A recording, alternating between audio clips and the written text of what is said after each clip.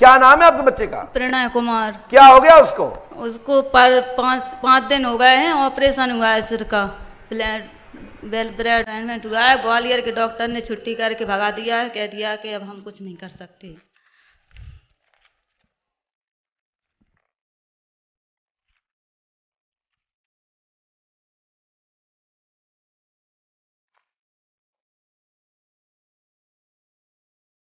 कहाँ के कौन से डॉक्टर का इलाज चल रहा है?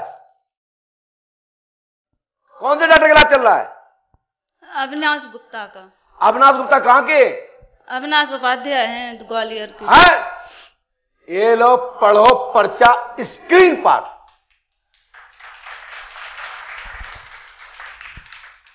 बैठ जाओ नीचे। पढ़ने में आ रहा है?